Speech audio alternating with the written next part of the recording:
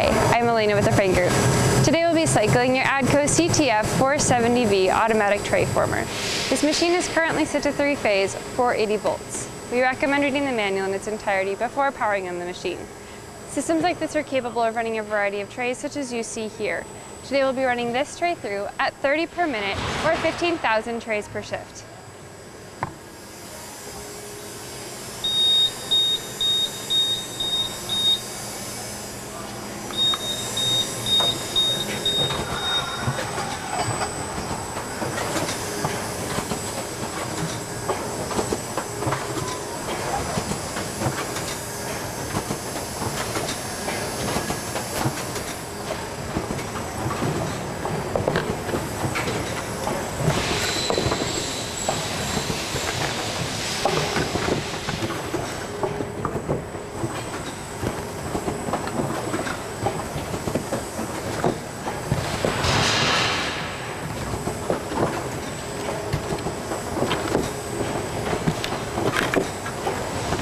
Thank you.